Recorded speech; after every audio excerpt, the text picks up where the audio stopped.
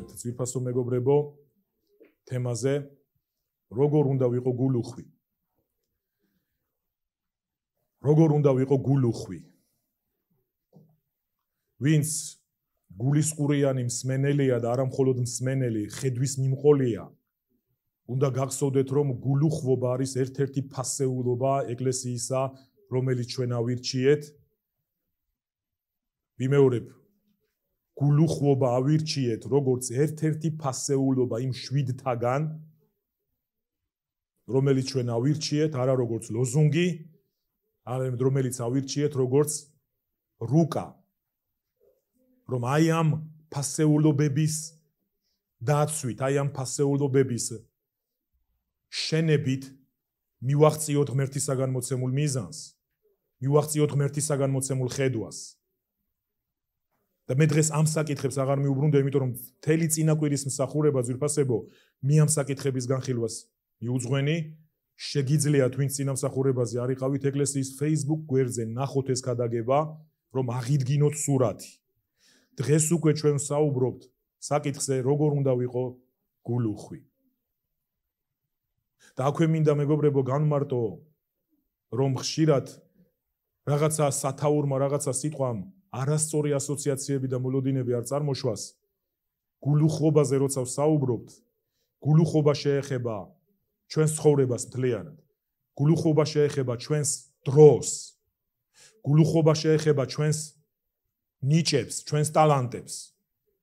გულუხობა შეეხება ყველაფერს. გულუხობა არ არის მხოლოდ რაღაც მატერიალურთან კავშირში ეს განცხადება უნდა გაკეთებული იყოს თავიდანვე და ვაკეთებ ამ განცხადებას თავიდანვე რომ გულუხვობა და სიტყვას რომელსაც ჩვენ ვამბობთ ხშირად და ვიყენებთ გაცემა არ უკავშირდება მხოლოდ მატერიალურ ნაწილს. იმიტომ რომ როცა ჩვენ ვლაპარაკობთ გაცემის ბიბლიურ მოდელზე ბუნებრივია ჩვენ ვასახელებთ იესო ქრისტეს როგორც ნიმუშს როგორც მაგალითს და იცით გაგიჭირდება ძვირფასებო თქვენ ბუკვალურად ბიბლიაში მოძებნოთ ადგილები რომ იესო მატერიალურს და ფულს გასცემდა ხშირად. მე ამით იმას კი არ ვამბობ რომ ის არ გასცემდა მაგრამ რა ვიცით ჩვენ ქრისტეს შესახებ რა ვისწავლეთ ჩვენ ქრისტეს შესახებ?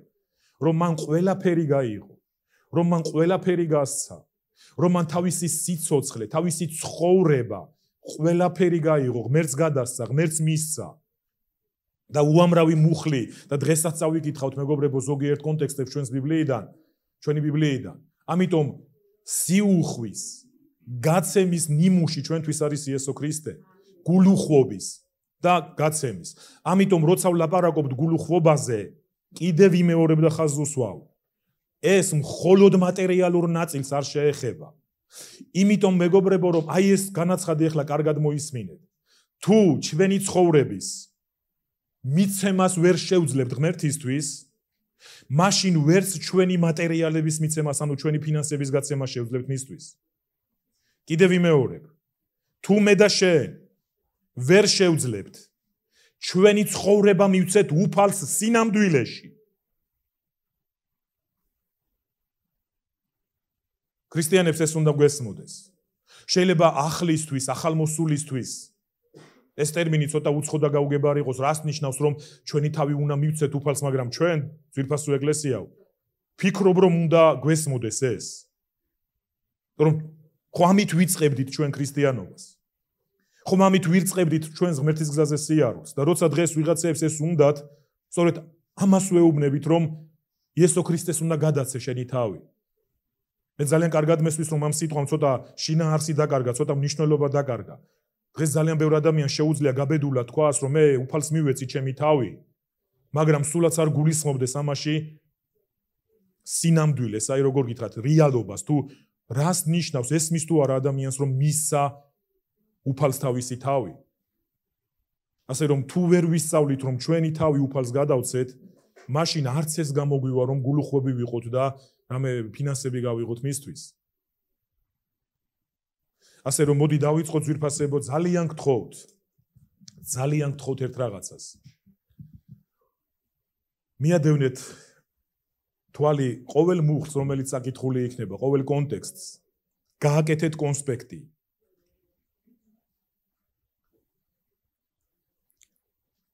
ანუ ჩვენ საუბრობ თემაზე რატომ უნდა ვიყო გულუხვი. და პირველ რიგში ბუნებრივია რას ნიშნავს სიტყვა გულუხვი. მე არ შეუდგები მის რაღაც მეცნიერულ განხილვას ვირფასებო. ორი სიტყვისგან შედგება გული და უხვი. გული და სიუხვე. ანუ ეს ყველაფერი გულს უკავშირდება. სიტყვა გულუხვი გულს უკავშირდება. გულით უხვი, გულიდან მომავალი. ერთი მუხლი ახლა წავიკითხო ზვირფასებო, ეს არის იოანეს მეათე თავის მეათე მუხლი, ძალიან ცნობილი მუხლი, ბევრისთვის. იოანეს მეათე თავის მეათე მუხლი. ქურდი მხოლოდ იმისთვის მოდის, რომ მოიპაროს, მოკლას და მოსპოს. მე კი იმისთვის მოვედი, რომ სიцоცხლე გქონდეთ და უხვად გქონდეთ. ვისაც თქვენი ბიბლიები თან გააქვთ? აი რატომ არის ბიბლიის სტარება ეკლესიაში მნიშვნელოვანი? ეხლა რაც უნდა წაგიკითხოთ, თქვენი ტელეფონის აპლიკაციებში ვერ იპოვით მაგას. იმიტომ რომ ბიბლიაშიც არის როგორც აქ სიტყვის კონა და სამეფოს პრინციპები, ვისაც გააქვთ აი ეს ახალი ვერსიები კომენტარიებით იმისთვის რომ წარმოდგენა შეგიქმნათ მოკლედ სიტყვა უხვზე, უხვი, გულუხვი ეს სიტყვა ძალიან ხშირად არის ბიბლიაში გამოყენებული. და თუ გინდათ დარწმუნდეთ, როცა სახში მიბძანდებით, მეგობრებო, დამავალეთ და თქვენს აპლიკაციაში, smartphone-ის აპლიკაციაში თუ კომპიუტერის მეშვეობით ბიბლიის საძიებელ სისტემაში ჩაწერეთ სიტყვა უხვი ან უხვად. და ძალიან ძალიან მაგარი მუხლები იქნება იქ. ძალიან ძალიან მაგარი მუხლები და რაც დაგეხმარებათ ამ საკითხში ამ საკითხის უკეთესად გაგებაში. ერთი სიტყვით მე მეგობრებო ვკითხულობ აქ იოანეს 10:10-ის ქვევით არის ასეთი სიტყვის კონა, სადაც სტრონგის განმარტება არის უხუზე და შემდეგში ასევე წავიკითხავ სამეფოს პრინციპს. კარგით, მე ვკითხულობ. ესე იგი ეს არის სიტყვა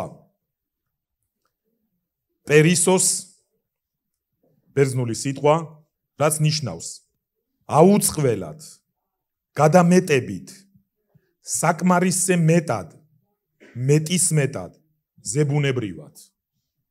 კიდევ ერთხელ ჩავიკითხავ, აუწყველად გადამეტებით, საკმარისზე მეტად, მეტის მეტად ზებუნებრივად. აიღეთ ახლა ეს სიტყვა და ჩავსვათ იოანეს 10:10-ში. ქურდი მოდის იმისთვის, რომ მოკლას მოიპაროს და მოსპოს, მე მოვედი იმისთვის, რომ თქვენ კონდეთ სიцоცხლე აუწყველად, გადამეტებულად, საკმარისზე მეტად, მეტის მეტად და ზებუნებრივად. კარგა ჟღერს? უკეთესად ჟღერს ვიდრე ერთი უბრალო სიტყვა უხვად კონდეთ. ანუ ღმერთი გვაძლევს ასეთ სიცოცხლეს. რომელიც ყველა, ანუ ეს ყოვლის მომცველი სიცოცხლე, ეს არ არის ფიზიკური სიცოცხლე. ეს არ არის მხოლოდ სულიერი სიცოცხლე ცალკე აღებული. თუ ეშმაკს უნდა რომ ჩვენგან წაიღოს რაღაც, თუ ეშმაკს სურს და მისი სურვილი დაოცნება ეს არის და ამას აკეთებს ის და ამას აკეთებდა ის რომ წაიღოს ჩვენგან სიცოცხლე და ყოველივე მათ შორის. წაიღოს ჩვენგან ჯანმრთელობა, წაიღოს ჩვენგან დოულათი. ვინმე ეჭვი ეპარება ამაში? მე არ მეპარება მე უბრალოდ ისე ხელს ვავ თუ ვინმე ასწევს ხელს. ეპარება ვინმე ეჭვი რომ ტერს ჩვენგან უნდა წაიღოს დოულათი სიკეთე ბედნიერება ჰარმონია ოჯახური კეთილდღეობა მშვიდობა. ამ ჩამონათვლის გაგრძელება შეიძლება ეს ის არის სადაც ეშმაკი ნადირობს. და იესო ნახეთ რა თქვა ის ამისთვის მოდის. მისი სამუშაო ეს არის მაგრამ ჩემი სამუშაოა რომ სიцоცხლე მოგცეთ და მოგცეთ გადამეტებულად, აუწყველად, მეტისმეტად, ზებუნებრივად, ანუ ის რისი წაღებაც მას უნდა და წაიღო დედამიწიდან თავის დროზე, როცა მან ამბოხებაში შეიყვანა კაცობრიობა, მოვიდა იესო ქრისტე და თქვა მე მოგეცით ეს. მე მოვიტანე ის და დავაბრუნე მე სამოთხის მდგომარეობა თქვენს ცხოვრებაში. და მოდი ახლა წავიკითხო ძვირფასებო აი ამის ახლა სამეფოს პრინციპების მიხედვით განმარტება. უხვი სიцоცხლე. ღვთიური სიუხვე. ღვთის აღთქმა ჩვენთვის გულისხმობს სიუხვეში ცხოვრებას. კარგად მომისმინეთ. ღვთის ღვთის აღთქმა ჩვენთვის გულისხმობს სიუხვეში ცხოვრების აღთქმას. ქვეყნიერების დასაწყისიდანვე გვაჩვენებს წმინდა წერილი რომ ღმერთი ღმერთს სურდა ბედნიერების და წარმა ბედნიერები და წარმატებული ყოფილიყავით. ძალიან წვრილი შრიფტით არის მაპატიეთ მეგობრებო, მიჭირს საკითხვა, აქ განათება არ არის საკმარისი. მაგრამ შეხედეთ. ქვეყნიერების დასაწყისიდანვე წმინდა წერილი გვაჩვენებს რომ ღმერთს სურდა ბედნიერები და წარმატებული ყოფილიყავით. შეგიძლია თქვა ამენ? წმინდა წერილი ამბობს და ყვება, რომ ქვეყნიერების დასაწყისიდანვე ღმერთის სურვილი და ღმერთის მიზანი იყო, რომ წარმატებულები და კურთხეულები ყოფილიყავით. ეს მან თავის პირველივე სიტყვებში გააჟღერა. მან აკურთხა. მან ناقოფიერება და გამოათავისუფლა. მან ადამიანებს უთხრა რომ ინაყოფიერეთ, კურთხეული იყავით, დედამიწა აავსეთ. ანუ ეს არის ღვთიური ჩანაფიქრი ძვირფასებო. დღეს მრავალი რელიგია დამახინჯებულად ხატავს ღმერთის სახეს. და ხშირად ეკლესიები და მათ შორის ქრისტიანული ეკლესიები ძვირფასებო. აი როგორ გითხრათ? ბალანს კარგავენ. ყველას აქვს იმის პრეტენზია, რომ წმინდა წერილს მიყვება. მაგრამ აი ამ სწავლების, აი ამ ქადაგების მთავარი დანიშნულება იცით რა არის? ვიქონიოთ სწორი ბიბლიური თეოლოგია. ვიქონიოთ სწორი დოქტრინა სიუხვეზე. და ეს ძალიან მრავალ კითხვას გასცემს პასუხს. ძალიან ბევრ скеპტიკოს დაეხმარება რომ აზრი შეიცვალოს. ვაგრძელებ. დაბადების წიგნში ვკითხულობთ, რომ ღმერთმა შექმნა ყველაფერი და გამოაცხადა, რომ კარგი იყო. როცა მან შვენიერი და ნაყოფიერი დედამიწა ადამს გადასცა, ეს უკანასკნელი ყველაფრის ბატონ პატრონი გახდა.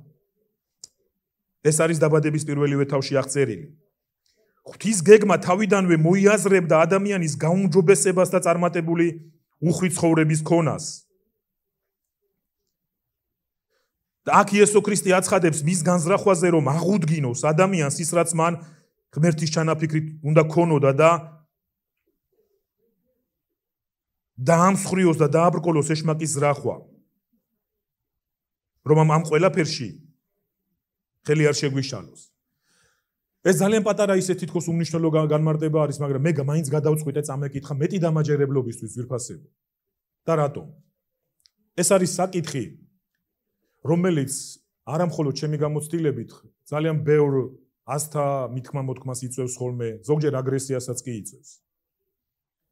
იმიტომ რომ თუ ამას შინაარს გამოვაცლით და ავიღებთ როგორც ცალკე აღებულს მხოლოდ რაღაცა გაცემას რომელიც მხოლოდ ფულს უკავშირდება. ეს იწევს ძალიან ბევრი ადამიანის გაღიზიანებას. და რატომაც იწევს გაღიზიანებას? ამას ახლა სწორედ წმინდა წერილიდან დავინახავთ ჩვენ. და მე როგორც წინამსახურებაზე გითხარით ჩემი გულის სურვილი და ოცნება იცით რა არის? რომ ჯამრთელი ეკლესია ვიყოთ. შემეცნებით სავსე ეკლესია ვიყოთ. ვიყოთ ეკლესია სადაც ღვთის სიტყვა არის ფესვგადგმული და ვიყოთ მორწმუნეები, რომლებიც ფესვგადგმულნი არიან სიტყვაში. ის რომ ჩვენ сахарების რწმენის ეკლესია ვართ, ეს თავისთავად არაფერს არ ნიშნავს, მეგობრები. ამიტომ ჩემი მცდელობა როგორც მსახურისა, ჩემი მცდელობა როგორც მწყემსისა არის ეს. ავაშენოთ ეკლესია, რომელიც დგას ღვთის სიტყვაზე, არა ვიღაცის გამოცდილებაზე. არა რაღაცა გადმოცემაზე, არა რაღაცა რელიგიაზე. და ეს გამოწვევა თქვენთვის არის დღეს მეგობრებო, რომ თქვენ სწავლობდეთ რას ამბობს ღმერთის სიტყვა. ყველა საკითხზე და მე პირდაპირ გეტყვით, ღმერთს მოსწონს, როცა ადამიანები მის სიტყვას სწავლობენ. კარგად მომისმინეთ, რასაც ვამბობ. იესოს ცხოვრების განმავლობაში მეგობრებო, მას ბევრი ოპონენტი ყავდა, და ზოგიერთი ოპონენტი სიძულვილით იყო გამშვალული, მაგრამ ზოგიერთი ოპონენტი ვერ ვიტყვით, რომ სიძულვილით იყო გამშვალული, მაგრამ დაბნეულნი იყვნენ. იცით რატომ? ვერ იგებდნენ იესოს ნათქვამს. იოანეს სახარებაში არის ერთხელ იესომ, ერთხელ იესომ როგორ უთხრა მათ, რატომ ვერ იგებთ ჩემს ნათქვამსო? იმიტომ რომ არ შეგიძლიათ ჩემი სიტყვის მოსმენაო. რომაელთა ეკლესიას პავლე მოციქულის წერდა, კარგად მომისმინეთ, გთხოვთ, უნდა აღიდგინოთ სურათი ვინ სახარებას კითხულობთ, ვინ სახარებას სწავლობთ. რომაელთა ეკლესიას პავლე ასეთ სიტყვებს წერდა, რომ ღმერთმაო ისურვაო რომ ქმნილებების განხილვითო შემომქმედი მიეგნოთო ადამიანებსო. ანუ ქმნილებას დაკვირვებოდნენო შეეხედათ ამ ქმნილებისთვის და შემომქმედი ამოეცნოთ, მაგრამ ვერ შეძლო ადამიანმა. ვერ შეძლო ადამიანმა ქმნილებაზე დაკვირვებით შემოქმედი გაეგო როგორია. ამიტომ ნახეთ იქ რას წერს პირველ თავში. ამიტომ ღმერთი შეცვალესო და დაუწყესო თაყვანისცემა ქმნილებას და არა შემოქმედს. ნახეთ რამხელაც თომილებას იწევს და დღეს ჩვენ მოდი ასე ვთქვათ, сахарების რწმენის ქრისტიანებს გვეცინება შეიძლება ამაზე, ო, ჩვენ ვიცით ღმერთი როგორია, ჩვენ შეგვიძლია სხვას ლექციები წავუკითხოთ ღმერთი როგორია. მაგრამ ვაი რო ყოველთვის ასე არ არის, მეგობრებო. იმიტომ რომ აქ დიდი ბრძოლა არის, აქ დიდი თავდასხმა არის. და თითქოს ახლა ვითომ პირველ კლასელებად ნუ წარმოვიდგენ თავს, მაგრამ გახსოვდეთ უნდა როგორ შეძლო მტერმა მოტყუება. როგორ შეძლო გველმა პირველ ქმნილების მოტყუება? როგორი მზაკურული, როგორი თაღლითური გზა მოიფიქრა? ღმერთისსევე ნათქვამიდან შეცვალა, ანუ ღმერთის ნათქვამი შეცვალა მათთვის და იმდენად გავდა სიმართლეს დაიჯერეს ადამიანები. აიღო მან ღმერთის ნათქვამი. აიღო მან ღმერთის სიტყვა და შეცვალა და დაიჯერეს ადამიანებმა საშინელი ტყუილი. რის გამოც მათ დაკარგეს მეფობა, მათ დაკარგეს უფლობა და მათ ყველაფერი გადასცეს მტერს. და შეხედეთ ძვირფასებო ახალი ათქმა ჩვენ ბევრ გაფრთხილებას გვაძლევს ამასთან დაკავშირებით პავლე იგივე კორინთელებს წერდა როგორც გველმა მზაკრობით აცთუნაო ადამი და ევავ შიშობო რომ თქვენც იგივე ცთუნებაში არ ჩავარდეთო. ანუ რა არის ეს ცთუნება? ტერი დღესაც იღებს რაღაცას სიტყვიდან, ცulis მას ასე დაემართათ გალატიის ეკლესიებს, გაიხსენეთ. გალატიის ეკლესიებს, გალატიის ეკლესიას ეს მოვლენა შეემთხვა. პავლე უწოდებდა ვინ მოგაჯადოვათო. ნახეთ როგორი სიტყვა გამოიყენა, მე არ მწამს რომ პავლე მოციქულს ჯადოსი ჯეროდა. მაგრამ იმდენად ძლიერი ეს სიტყვა, თითქოს ადამიანი მოჯადოებული იყოს, თითქოს ადამიანი დაზომბირებული იყოს, ისე შეეცვალა გალატელებს აზრი გონება, თან ისინი ამით მსახურებას აგზელებდნენ ქვეყნიერებაზე კი არ წასულან ზვირფასებო იმიტომ რომ ჩვენ ხო ასე ვადგენთ ხოლმე უკიდურესობებით რომ თუ ადამიანი ადგენება და ქვეყნიერებას გაყვება ე მაშინ არის გონება არეული. ეს ხალხი მორწმუნეებად რჩებოდნენ ასე ფიქრობდნენ ყოველ შემთხვევაში. მაგრამ სიტყვა შეცვალეს. და პავლემ ასეთი სიტყვები მისწერა მათ. თუ ვინმე სხვა სახარება მოიტანოს ანგელოზიც რომ იყოსო იყოს შეჩვენებული ხედავთ რას ნიშნავს სახარების სიწმინდე ძვირფასებო? ხედავთ რას ნიშნავს სახარების მიყოლა სინამდვილეში? ხედავთ რას ნიშნავს ღვთის სიტყვის ღვთის სიტყვაში ფეს გვადგმულობა ეს მოსწონს ღმერთს. იმიტომ რომ კი არა ის ნარცისია. ეს ღმერთს იმიტომ მოსწონს რომ ანიცის რომ ამის მეშვეობით ჩვენ ვიქნებით დაცულნი და კურთხეულნი. ამის მეშვეობით ჩვენ გვექნება მუდმივი კომუნიკაცია მასთან. როცა ჩვენ სიტყვაში ძლიერდებით როცა ჩვენ სიტყვას ვსწავლობთ როცა ჩვენ სიტყვაში ფეს ვიდგავთ ღმერთმა იცის რომ ამით მას აქვს ჩვენთან კომუნიკაციის საშუალება. ღმერთმა იცის რომ ამით ჩვენ მისი გვესმის. ამით ჩვენ მეგობრებო რაღაც უსაფრთხოების საზღვრებს ვიყალიბებ ჩვენს გარშემო. და მან იცის რომ ამით ჩვენ წარმატებაში და კურთხევაში მივდივართ, რაც უნდა ღმერთს ინამდვილეში, რაც უკვე წავიკითხეთ. იმედი ახლა ვიგებთ რას ნიშნავს გულუხვობა. რას ნიშნავს რომ ღმერთს უნდა რომ სიუხვე გქონდეს და ჩვენ კიდევ წავიკითხავთ დღეს კონტექსტებს სიუხვესთან დაკავშირებით. რატომ უნდა ვიყოთ გულუხნი? რატომ უნდა გავცემდეთ? რა არის ამის საფუძველი? რა არის მოტივი? ვიმეორებ ამ კითხვებს. კაი შენ ამბობ, შენ დააწერი აქ სათაური, როგორ უნდა ვიყო გულუხვი? მაგრამ სანამ იმას მასწავლი მსახურო ხუცესო, რატო როგორ უნდა ვიყო? მოდი ჯერ ის მასწავლე, რატომ უნდა ვიყო გულუხვი?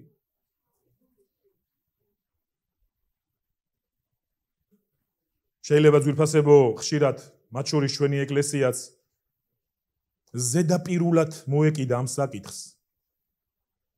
რას ნიშნავს ეს? იცით? აი, ჩვენ შეიძლება გამოდივართ და ვამბობთ, მოდი გავცეთ. ჩვენ ვასწავლით, ჩვენ ფასეულობებში შევიტანეთ, ჩვენ ჩვენი წევრობის სტანდარტში შევიტანეთ. და იცით ხვდები რომ შეიძლება ეს არ იყოს ყველასთვის საკმარისი. აი როგორ სანამ ვიტყვით როგორ, მოდი ვთქვათ, რატომ უნდა ვიყო გულუხი? შენ კი მასწავლი მე როგორ უნდა ვიყო ეს, როგორ გავაკეთო, მაგრამ სინამდვილეში რატომ უნდა ვიყო? რა მასწავლის ამას მინდა წერილი? ან თუ მასწავლის მინდა წერილი, რისი მოტანა შეუძლია ამ ყველაფერს შემდეგ, რა მექნება მე, რას მომცემს ეს? ან და შეიძლება ბევრი იყოს აქ ადამიანი, ვინც ეთანხმება ამ იდეას და თავის ცხოვრებაში აპრაქტიკებს კიდევაც რომ იყოს გამცემი და იყოს უხვი გამცემი, მაგრამ მოტივი რა არის ამ ყველაფრისა? რა მოტივით ვაკეთებ ამას? პოპულარული რომ ვიყო? რომ ვიღაცამ ესე არ მითხრას რომ შენ რატო არ გასცემ? ამიტომ ეს კითხვები ძალიან მნიშვნელოვანი კითხვებია. რა მოტივია? რა მოტივია? რა საფუძველია ამისა? რას გვასწავლის სიდამდვილეში ბიბლია ამ თემაზე? ბიბლიაში არის 700-მდე მუხლი მთლიანობაში, არ გაგიკვირდეთ, რომელიც საუბრობს პირდაპირ ფულზე. იესოს იგავების 2/3 პირდაპირ თუ ირიბად საუბრობს ფულზე. გაგიკვირდებათ, რასაც ვამბობ, მაგრამ ასია. ლუკას მე-12 თავიდან წავიკითხავთ ახლა. ლუკას მე-12 თავი 32-34 მუხლები. კითხულობთ. ნუ გეშინია მცირე საწმსო, ვინაიდან თქვენმა ზეციერმა მამამ კეთილინება თქვენთვის სათასამეფოს მოცემა. ცოტა ხან შევჩერდეთ ძვირფასებო, ცოტა ხან შევჩერდეთ და მომაქციეთ ყურადღება.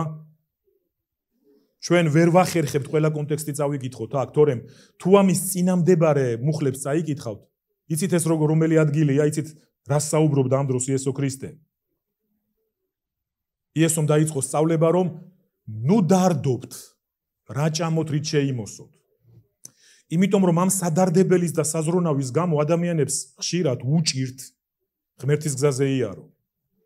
იმდენად დიდია ხშირად საზრუნავით გამოწვეული ორომტრიალი. იმდენად დიდია რომ ადამიანის ცხოვრების განრიგს ცვლის თლიანობაში. შეიძლება ქრისტიანს გონებით უნდოდეს რაღაცა აკეთო შეიძლება ქრისტიანს გონებით ცოდნით იწოდეს პავლე ამას წერდა გაიხსენეთ ის წერდა რომ ვიცი გონებით კარგი რა არის, მაგრამ არ გამომდის ამის კეთებაო. იმიტომ რომ ბძოლა არის ეს.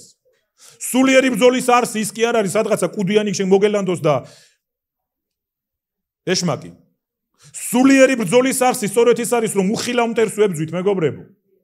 მაგრამ პავლემ ასე თქვა, რომ მისის მისის რახვანი ჩვენთვის უცხო არ არის.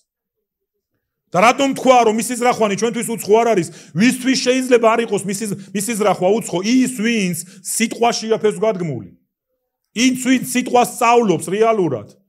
მისთვის ეშმაკის ნებისმიერის რახვა უცხო არ არის. მას არ ახასიათებს რაღაცა ნოუ-ჰაუ რაღაც ახალი გამოიგონოს. ის ისევ ძველი გზებით და ძველი მეთოდებით ცდილობს ჩვენს თუნებას და წინამდებარე მუხლიაში არის მას, მას ეძებეთ ღმერთის სამეფო და ყოველივე შეგემატებათ. თვითონ ამ ეს სწავლება ძვირფასებო თქვენ იცით ეს მათეს სახარებაში და ძალიან ძლიერად არის გადმოცემული.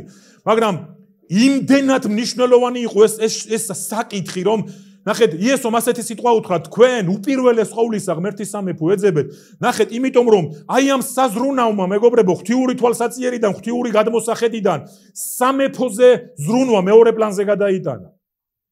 ღვთის სამეფოზე ზრუნვა სინამდვილეში. იესომ ამიტომ ილაპარაკა ეს მოწაფეებთან. ის მოწაფეებს ელაპარაკებოდა და დღეს ჩვენ გველაპარაკება. სინამდვილეში ამ საზრუნავმა, ადამიანურმა საზრუნავმა შესაძლებელია ღვთის სამეფოს საკითხები მეორე ხარისხოვნად აქციოს. გონებით ვიცი რომ ასე არ უნდა იყოს. მაგრამ საზრუნავები არ მელევა და არ მაძლევს ამის საშუალებას რომ ღვთის სამეფოს საკითხები ჩემთვის პირველ ხარისხოვანი იყოს და პირველ ადგილზე იყოს. ამიტომ იესომ თქვა, თქვენ უპირველეს ყოვლისა ის უნდა ეძებოთ ღმერთის შეგმატებ დანარჩენს და გააგზელა შემდეგში ახლა რასაც ვკითხულობ. აი აქ გააგზელა იესომ რასაც ვკითხულობ და ის ამბობს: ნუ გეშინია მცირე საწმსო. და რა შუაში აქ შიშე საერთოდ არ იყო საუბარი, მაგრამ აი ამ საზრუნავების მეგობრებო, აი როგორ გითხრათ, როცა ჩვენ გზაგასაყართან ვდგავარ, როცა გზაგასაყართან ვდგავარ, კარგი შენ მეუბნები ხუცესო რომ უპირველეს ყოვლისა ღვთის სამეფოს საკითხები დავაყენო წინ, უპირველეს ყოვლისა მოდი სულიერი საკითხები, ეკლესიური საკითხები, მაგრამ ამ საზრუნავებს რა უყო და ჩდება შიში.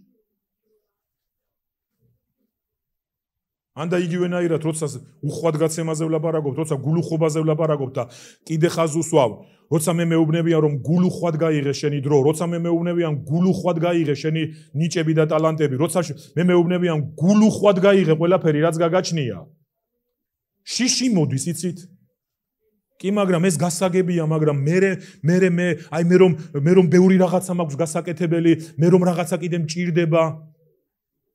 ამიტომ ეს რომ თქვა, ნუ გეშინია მცირე საწმსო.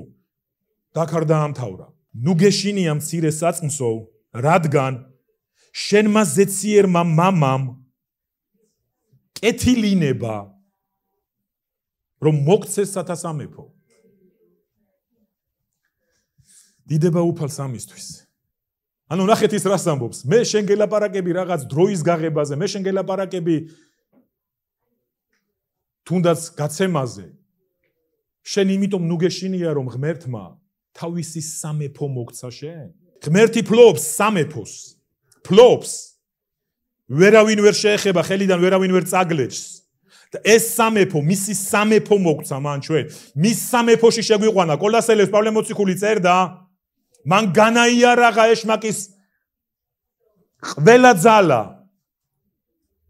გვიხსნა მისი ხელმწიფებისგან და გააგზელეთ და შეგვიყვანა თავისი საყვარელი ძის სამეფოში ასე რომ სიტყვა გვეუბნება ნუ გეშინია ამით უნდა აჯობო შენ შიშ რომ ღმერთმა თავისი სამეფო მოგცა ჩვენ. ვაგზელებ ვაგზელებ 33 მუხლი გაყიდეთ თქვენი ქონება და გაეცით მოწყალება.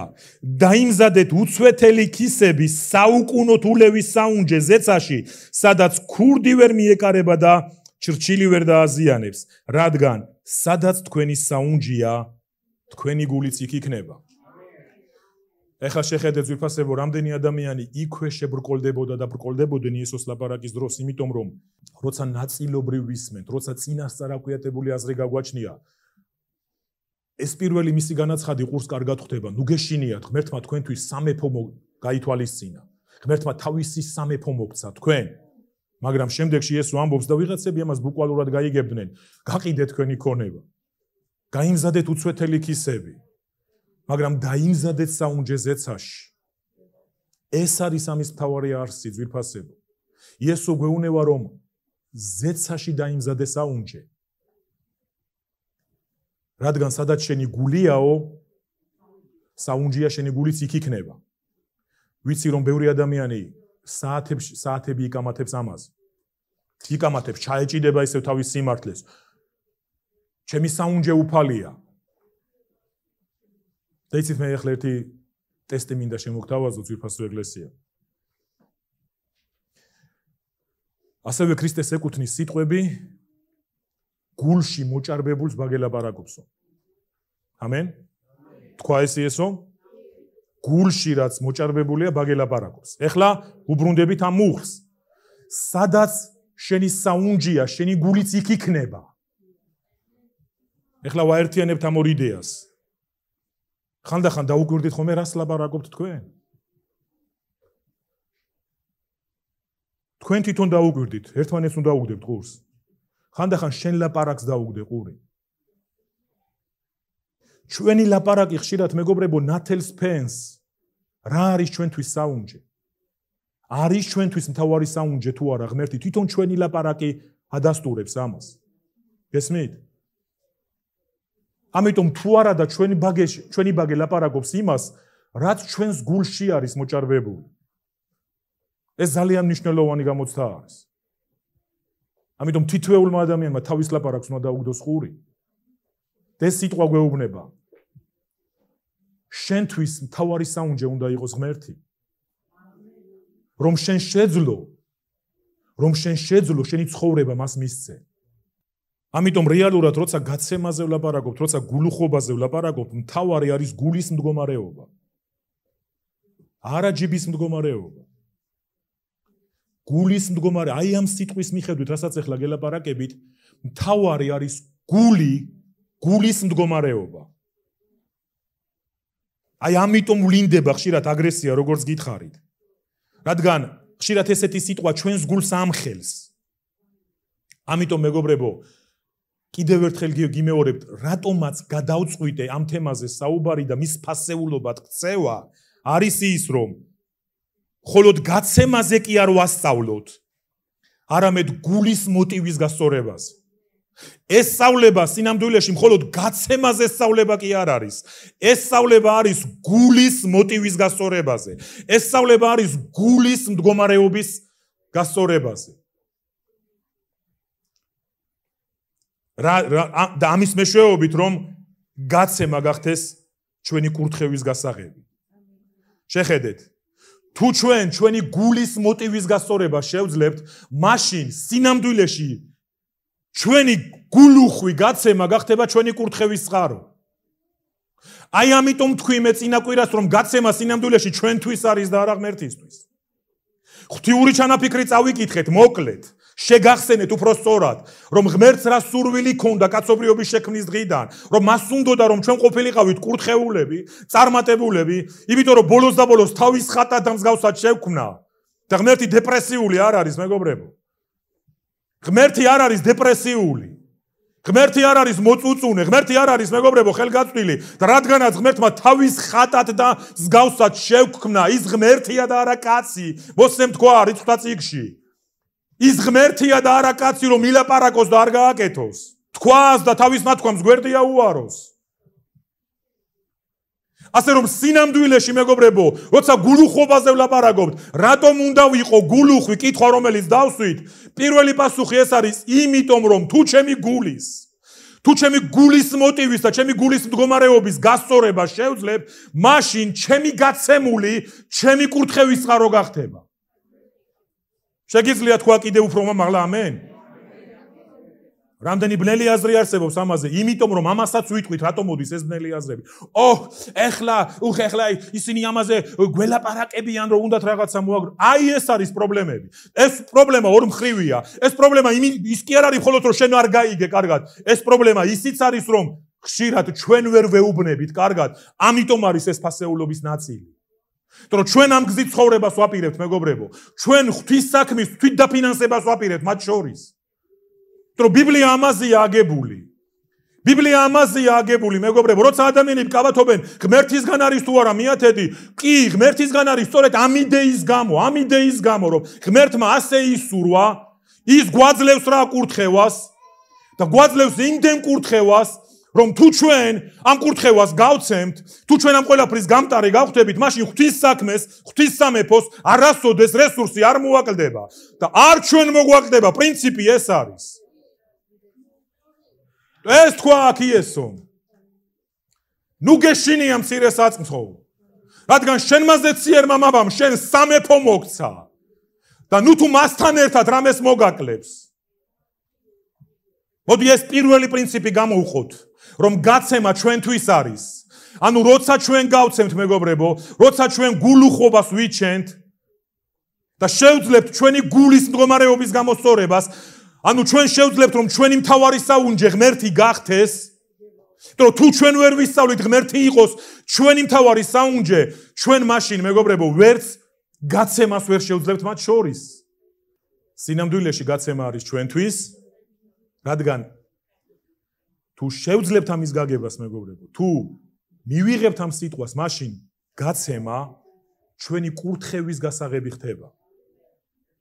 და ეხლა წარმოიდგინეთ ადამიანი ვისაც სწორი მოტივი აქვს და ესმის სხვათა შორის მადლობა ასევე ტარიელს რომ დღეს დიდებული მუხლი წაიკითხა ეს მუხლები რაც ტარიელმა წაიკითხა არის ჩემი ცხოვრების არ ვიცი აი როგორ როგორ თქვა. ამან აი ეს იყო ჩემთვის მეგობრებო რევოლუციური გადატრიალება სიტყვა რევოლუციის ხსენება საშიშია ეხლა ისჯება. მაგრამ ჩემთვის პირადად რევოლუციური გადატრიალება მოეხდინა ამ გაგება მათ შორის ძველ აღთქმაში. მე ძველ აღთქმას არ ვაკნინებ. მაგრამ მათ შორის ძველი აღთქმის კაც კონდა ეს გამოცხადება და ის ამბობდა ღმერთო, მე ვინ ვარ? მე რა შემიძლია? მე უბრალოდ შენგან მოცემული ავიღე და ისე უკან დაგიბრუნე. იმიტომ რომ სინამდვილეშიო შენ ხარ წყარო ჩემი სიმდიდრის ჩემ ნახეთ ეს გაგება რომელიც ადამიანს ხელმოკლეს ვეღარტოვებს ხდებით რაღაცას მიაგნო რაღაც საოცრება გამოცხადება მიიღო ანუ ღმერთი არის წყარო ღმერთი მაძლევს და როცა მე მას ვუბრუნებ ეს ისევ ჩემი კურთხევის წყარო ხდება ადამიანების დიდი ნაწილი როგორ ფიქრობენ, იცი, ჩემი დრო, ჩემი წმინდა დრო, მე მას ვერავის ვერ მივცემ. უხ, ჩაეჭიდება ჩემი რესურსი, ჩემი ნიჭი. მათ შორის ის რა ჯიბეში მაქვს, ეს ჩემია, ჩემია და ვერ იგებს. ბავშვივით იქცევა და ჩვენ ეს სურათი გვაქვს მეგობრებო, სამწუხაროდ ქრისტიანულ ცხოვრებაში და ეკლესიაში.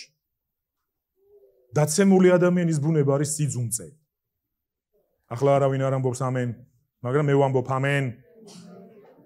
დაცემული ადამიანის ბუნება არის სიძუნწე.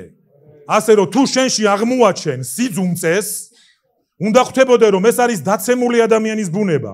ადამიანის ბუნება არის. შეიძლება როგორ ხატავთ ხოლმე? ო, რას ამბობ მე ზუნწი სულაც არა ვარ.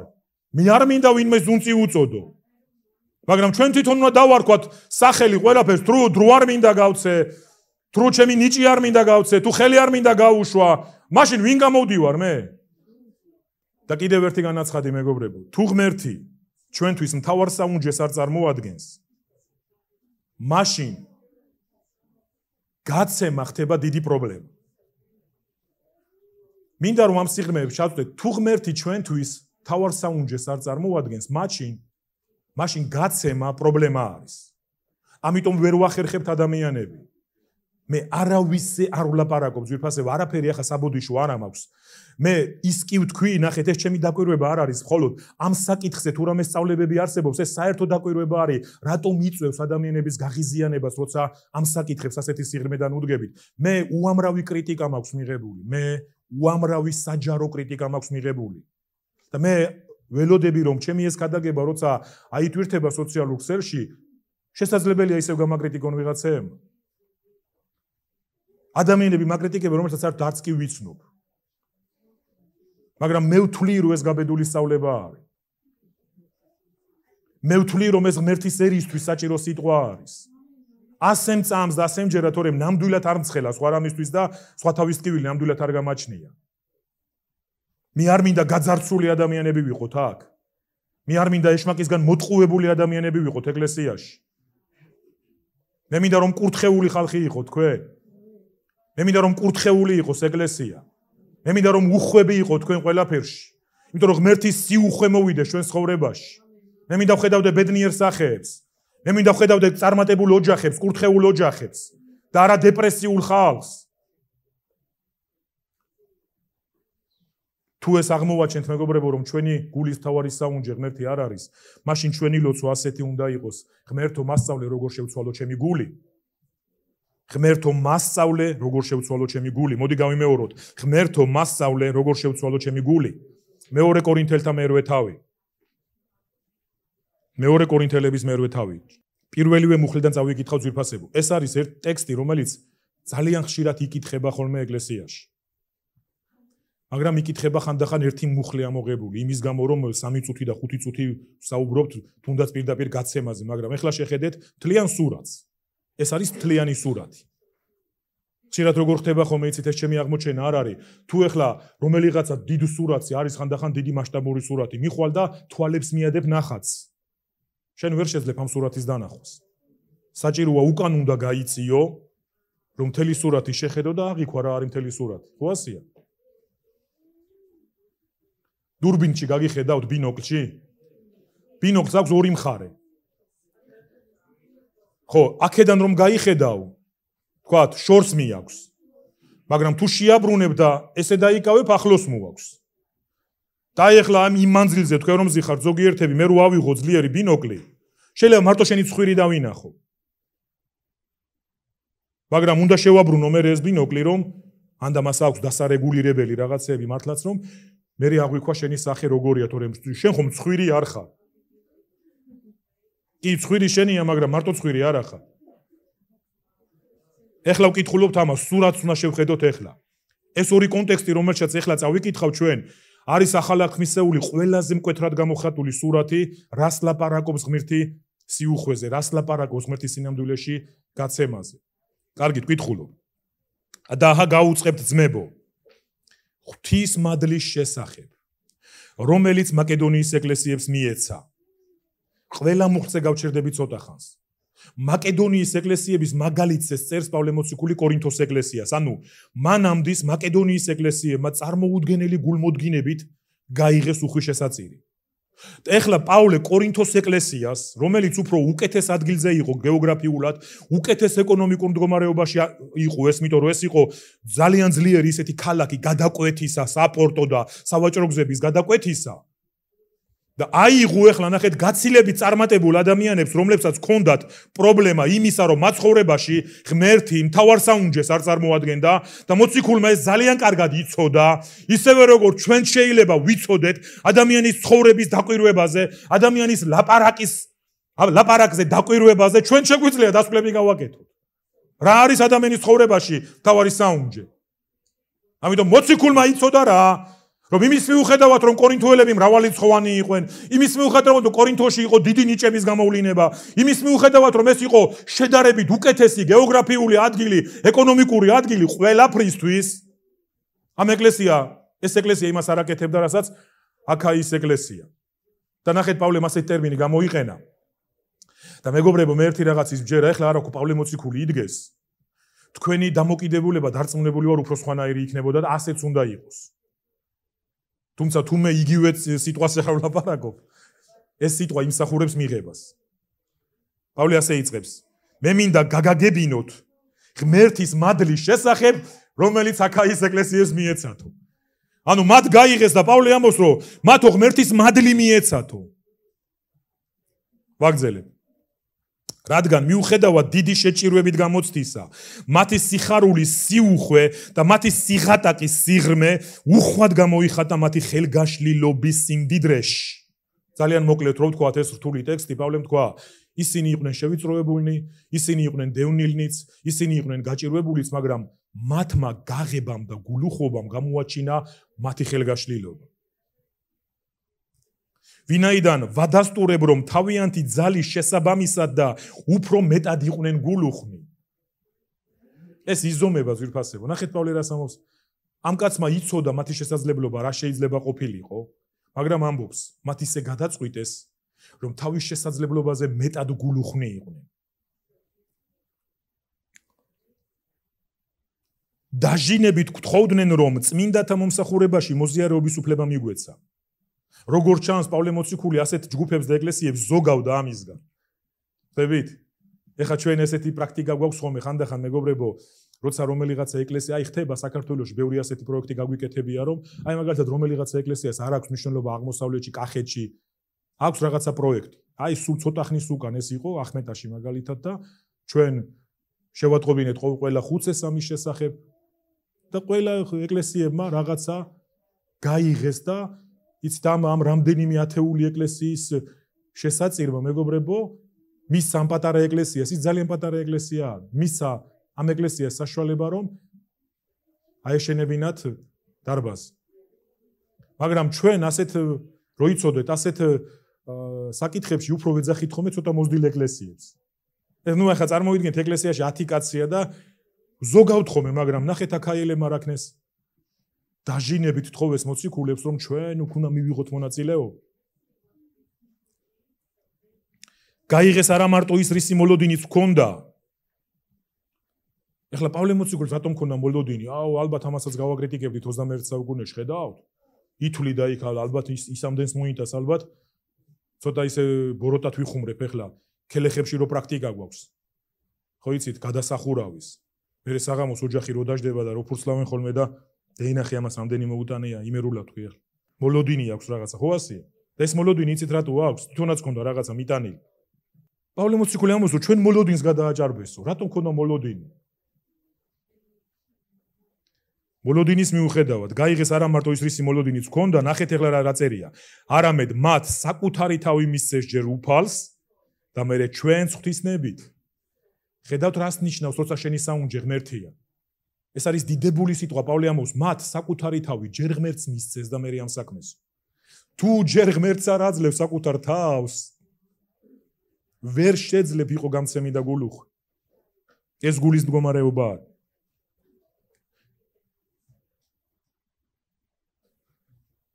მე შვიდე მუხზე გადავდივარ. მიადევნე თვალყური გთხოვთ გთხოვთ ხოდა როგორც შეხედეთ ახლა ხოდა როგორც სიუხვე გაქვთ ყველაფერში რწმენასა და სიტყვაში. ეს არის ძლიერი მოციქულური სიტყვა. შეხედეთ. ეკლესიები ხშირად თანახმარიან ილაპარაკონ, არ არის წმენა შეეხება, არ არის იმაში გულ შეეხება, არ არის სულიერება შეეხება. აი ეხლა პავლე მოციქული არ ტოვებს მეგობრებო цаრიელ ადგილებს ეჭვისთვის და სხვანაირი განჯისთვის. პავლე ნახეთ რას წერს. ხო და როგორც სიუხვე გაქვთ ყველაფერში, წმენაში, სიტყვაში, შემეცნებაში და ყოველგვარ სწრაფვაში და თქვენ და მი ჩვენ სიყვარულში ასევე იუხვეთ ამ მადლშიცო. ხედავთ? ფაქტიურად პავლე მოციქულმა გაათანაბრა, მან თქვა, თქვენ გაქვთ სიუხვე სიტყვაში, რწმენაში, სიყვარულში, მაგრამ ისეუნება, ასევე იუხვეთ ამ მადლში, ანუ გაცემაში. და ნახეთ, ამას ბძანებით კი არ ვამბობ, არამედ იმისთვის, რომ სხვათა გულმოდგინებით თქვენი სიყვარულის სიწრფელე გამოვცადო. საოცარი სიტყვარი, ჩვენ ეს წერილი მიგვეღო, ნახეთ, პავლე ამბობს, მე მინდა თქვენი სიყვარული რამდენად წრფელია გამოვცადო და გამოგცადე გამოგცადე პავლე და ისამოს მაშინ აი ამ საქმით გამოვცდი თქვენი სიყვარულის სიცხფელეს. ვინაიდან მეცხრე მუხლი, ვინაიდან იცით ჩვენი უფლის იესო ქრისტეს მადლი, რომ თქვენთვის გაღატაკდა იგი, თუმცა მდიდარი იყო, რათა თქვენ გამდიდრებულიყავით მისი გაღატაკებით. დიდება იესოს. მეორე კორინთელების 10:9 უნდა წაგიკითხოთ. პაულეს ყავდა კრიტიკოსები, მეგობრებო. პაულეს ისეთი კრიტიკოსები ყავდა და განსაკუთრებით კორინთოს ეკლესიაში, რომ საერთოდ სხვა რაღაცა დათესეს ამ კრიტიკოსებმა. იმდენი შეძლეს, რომ პავლე მოციქული კორინთოს ეკლესიაში ვეღარ მიდიოდა, არ იღებდა ეკლესია. და ნახეთ რა შეუბნევ ახლა პავლე მოციქული. იმიტომ რომ ასეთი ხმა გაურცელეს, რომ ისეთ წერილებს წერსო, გვაშინებსო. წერილებში მაგარიაო და სიტყვით რომ უა ისე მაგარი აღარ არისო. და ნახეთ რა მიწერა პავლემ. ნუ მოგეჩვენებათ თითქოს წერილებით გაშინებდეთ. ძალიან შეურაცხყოფელია პირადად რომ გითხრათ მეგობრებო რომ იცი აშინებენ ვინ უნდა შეაშინო 21 საუკუნეში. ვინ უნდა შეაშინო ამ დროში როცა ცოდნა ხელმისაწვდომი. შუა საუკუნეებში გასაგებია შუა საუკუნეებში ეკლესია ბოროტად იყენებდა მეგობრებო სამწუხაროდ თავის ზალაუფლებას, თავის ცოდნას. ბიბლია არ არსებობდა გასაგებენაზე. და ადამიანებს ეუნებოდნენ თუ ინდულგენციას არ იყიდი ჯოჯოხეთში წახვა. მაგრამ დღეს ვინ უნდა შეაშინო შენ? იქით არ შეგაშინო. მეორე კორინთელების მე-12 თავში პავლე მოციქული თავისი მამობრივი გულით ასეთ სიტყვებს ეუნეოდა. მეორე კორინთელების 12-ის 14: მე თქვენ გეძებთ და რა თქვენსას. აი როგორ პასუხობდა ის კრიტიკოსებს. პავლემ ასე უპასუხა: მე თქვენ გეძებთ. თქვენი კი არ მაინტერესებს. მიაბით ახლა ეს ყველაფერი მეგობრებო ნახეთ ყოველთვის ეს სიტყვა ესეთი სიტყვა ესეთი გახსნილი სიტყვა ესეთი გულახდილი სიტყვა ყოველთვის არ იწევს სასიკეთო მოშურნეობას. და მათ შორის დღეს მეგობრებო ჩვენ მე მიტო გამომაქვს ეს ყველაფერი ასეთ სიღრმეში.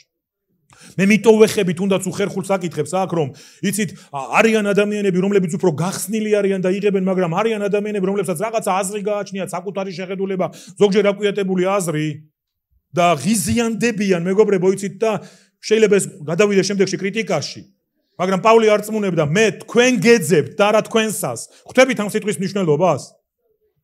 გესმით ეს სიტყვა რას ნიშნავს? პავლე ეუნება მე შენ მაინტერესებ ხარ ის კი არა შენ რას იძლევი? შენ გეძებ მე რა შენსას მე შენთვის მინდა სიკეთე და არა ჩემთვის.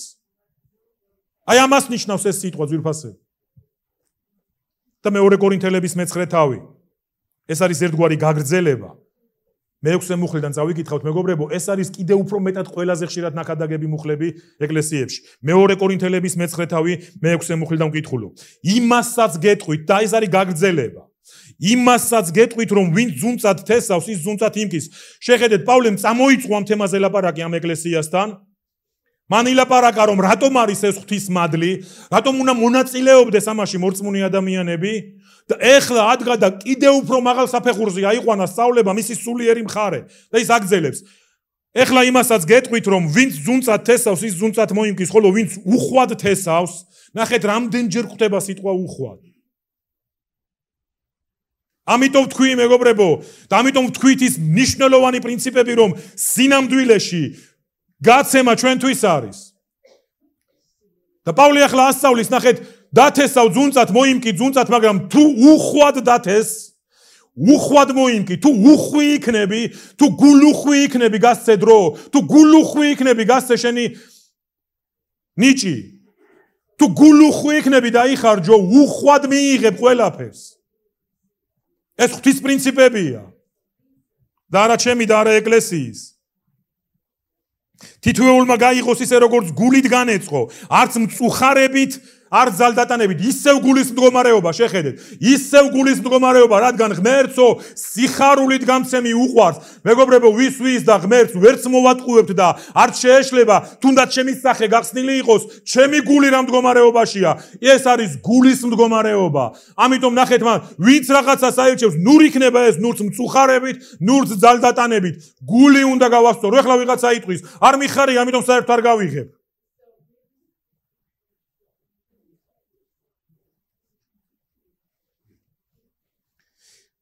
ო ეს არის საოცარი ადგილები. ღმერთს კი შეუძლია კიდევ ერთი სიუხვე, სიუხვე მოგცეთ ყველაფერში.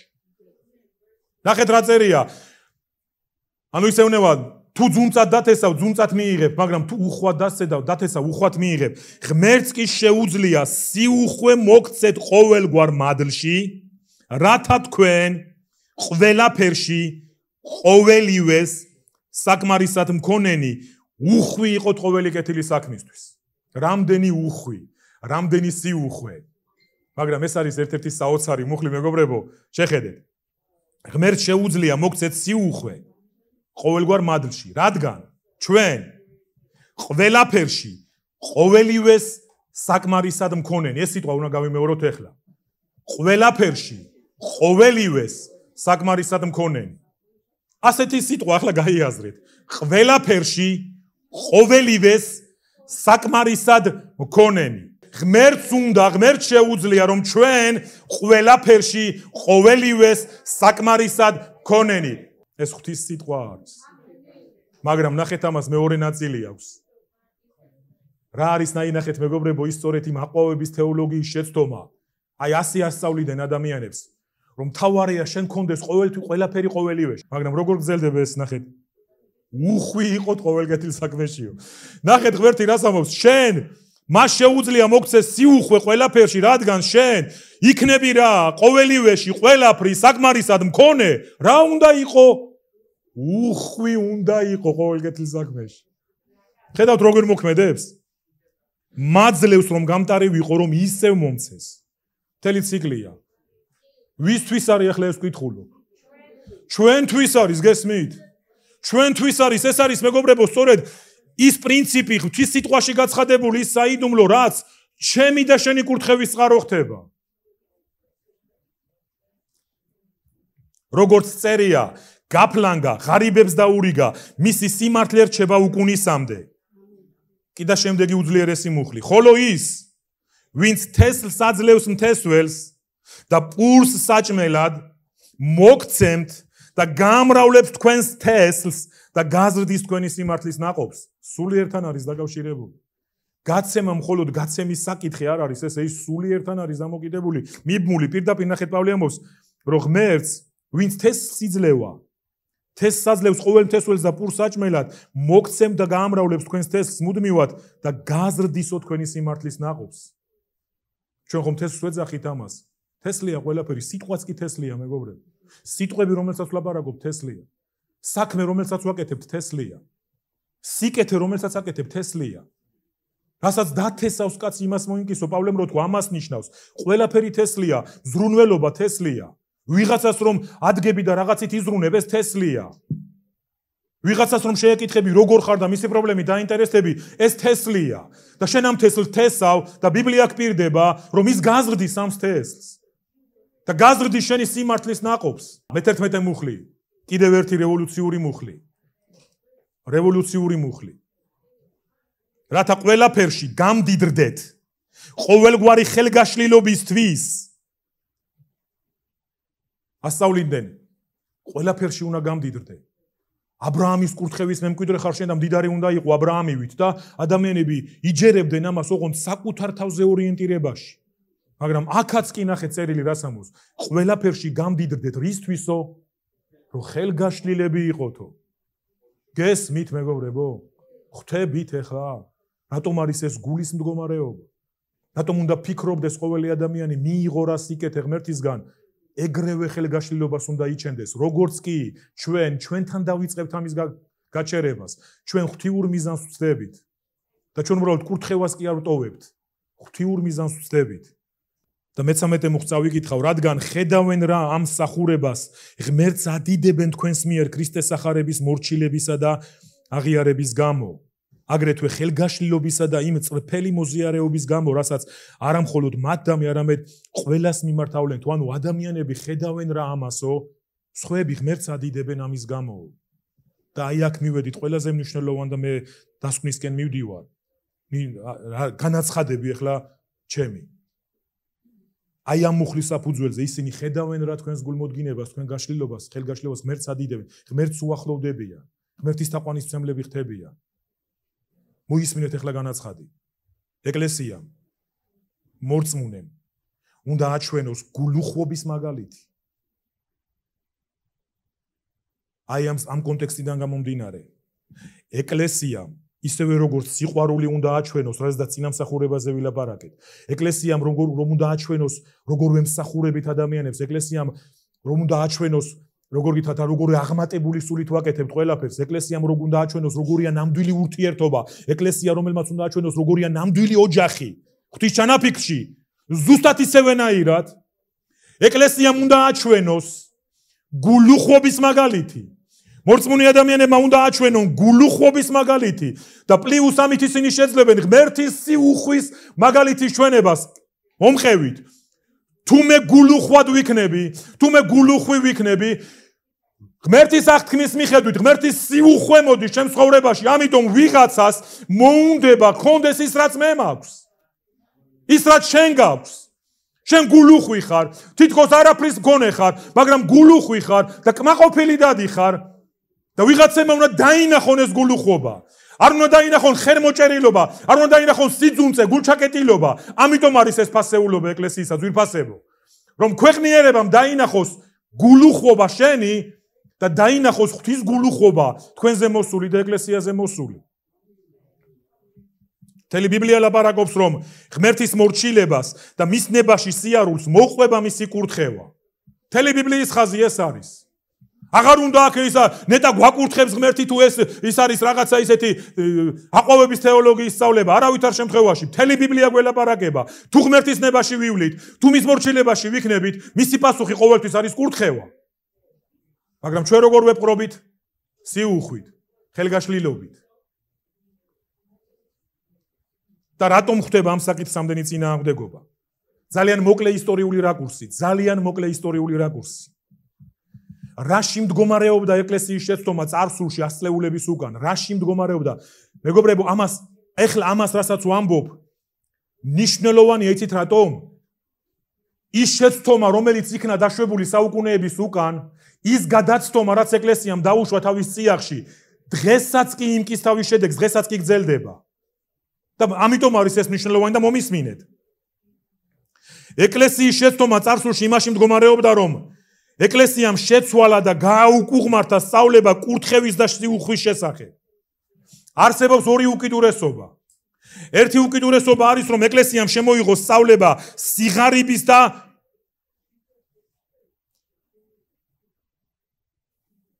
უქონლობის სიკეთეზე. წარსულ წლებში, სადღაც მეოთხე მეხუთე საუკუნეებიდან იღებს მეგობრებო სათავეს ასკეტური ბერული მონაზნური ცხოვრების ორგანიზება. და შეხედეთ ვიფასებ. ეკლესიამ დაუშვა ეს სწავლება. გნოსტიციზმი იყო ასეთი ფილოსოფია ერთ-ერთი მიზეზი, რომელიც ამბობდა, რომ ყოველგვარი მატერიალური ბოროტება არის. გნოსტიციზმი საერთოდ არ იყო ქრისტიანული აზროვნება. გნოსტიციზმი ქრისტემდე არსებობდა. ეს იყო ძალიან შერეული ფილოსოფია. და აი ამ ფილოსოფია მეგობრებო ეკლესიაში შეახცია იცით როგორ გნოსტიკოსები გახრისტიანდნენ და შეიტანეს აზრები ეკლესიაში. ეს მოციქულურ ეკლესიაში არ მომხდარა. მოციქულების სიცოცხლის ხან დროს არ მომხდარა მეგობრებო. ეს ყველაფერი ხდება იმ გარდამტეხი ეპოქაში, როცა ეკლესია სახელმწიფო რელიგია ხდება. როცა ქრისტიანობა სახელმწიფო რელიგიად გადაიქცა კონსტანტინეს შედეგად და იცით მეგობრებო ეკლესიაში დაიწყო ნელ-ნელა დეგრადირება იმ ბიბლიურმა პრინციპებმა და გავიდა რაღაცა პერიოდი და ეკლესიამ ცნო სწავლება რომ სიღარიბე და უკონლობა არის სიკეთე ეს არის ერთი უკიდურესობა. ერთი უკიდურესობა. დღეს დაკვეთა და მოლოდინი არის ასეთი. დაკვეთა საზოგადოების და მე ახლა ერთ ისტორიას მოგიყვებით ძალიან მოკრეთ. რამდენიმე წლის უკან თბილისში ვიყავი ჩვენ სასწავლო ცენტრში. და ერთი მეგობარი მყავდა, ბიზნესმენი იყო. და ეკლესიაში იყო მოსული, ბევრი პრობლემები მქონდა, წმენის გამო ოჯახი აღუდგა წინ, ვიღაცები, რაღაცები დაკარგა სერიოზული. დიდ ბიზნესში იყო. მაგრამ მეგობრობდა ჩემთან, რამდენიმე დღე ჩემთანაც კი იცხოვრა ოჯახიდან წამოსულმა, აი, ჩემს ოჯახში იცხოვრა. და ამ ბიჭმა ერთხელ დამირეკა და მეუნევა რომ ვიღაცა უნდა შეგახვედრო ძალიან დახმარება სჭირდებაო ჩვენიო. და გამაფრთხილა რომ ძალიან ისეთი ცნობილი განათლებული ექიმიაო, წარმატებული ექიმი, ძალიან ისეთ ძალიან მნიშვნელოვან კლინიკაში მომუშავე ერთ-ერთი ცნობილი ექიმი. ასეთი კაცია რო იცოდეო რომ მიდგომაო და მოიყვანა ეს კაცი, ახალგაზრდა კაცი, რომელიც რაღაც ცხოვრებისეულ კითხვებში იბნეოდა, აი რაღაცა ცხოვრების არში აიბნა, დაიბნა და დაიწყო ალკოგოლს მიეძალა. არა, ყველაფერი ქონდა ხალხო. წარმოუდგენელი კარიერა. იმიტომ რომ ხო ჩვენთვის რა არის ვიღაცას ხელი მოეცარა და გახდა ალკოგოლიკი, მაგრამ ეს მწვერვალზე იყო, პიკზე იყო კარიერისა, იყო წარმატებული ექიმი, ქონდა უამრავი შემოსავალი, მაგრამ რაღაცა დაიბნა და დაიწყო დალევა. და დავიწყე ხამასთან საუბარი. ვიცოდი რომ ძნელი იქნებოდა. აი მე მოკლედ მოგიყვებით ამას. ამ ბიჭმა დაათვალიერა იქ ჩვენი სასწავლო ცენტრი, ანუ ეს რაც არის თბილისის ეკლესია და ნუ ზევით კიდევ ის სახურთა მომზადების სასწავლო განყოფილება და სასტუმროებია თუ რაც არის, დავათვალიერებინეთ, და რო დავჯექით. აი წყალი გადა, აი გადაგვას ხა ესე თქვა. არ გვინდაო მოდიო ღმერთს ელაპარაკიო, იმიტომ რა ღმერთი არ არისო მეუბნება. და შევწუხდი ახლა მეთქი რა დასკვნას აკეთებს, ჯერ არაფერზე გვილაპარაკნია. და რატო ამბობ მეთქი ამას? და იცით რა მითხრა? ასეთ იმაშიო, კარგად მოწყობილშიო ღმერთს რა უნდაო. და მე ვთქვა რას ამბობ? მან მან მითხრა რომ ღმერთიო არ არისო დიდრულ ტაძრებშიო. ღმერთი არისო მხოლოდ ბერებთან. აი იქო რო საჭმელი რო არა აქვთო. სასმელი რო არა აქვთო. საწოლზე რო არ ძინავთო და ხის ნარზე რო ძინავთო. ღმერთი მათთან არისო. მეგობრებო არ შედგა ჩვენი საუბარი სამწუხაროდ. რომ ამ კაცს მას ასეთი ამით რა ეს უკუ აგდო მთლიანად. ასეთ კარგად გარემონტებულში და ასეთ გარემოში ღმერთს რა უნდა? აქ ღმერთი არ არის. და ის რას მეუნეოდა? იცი არც საპატრიარქოში არ არისო.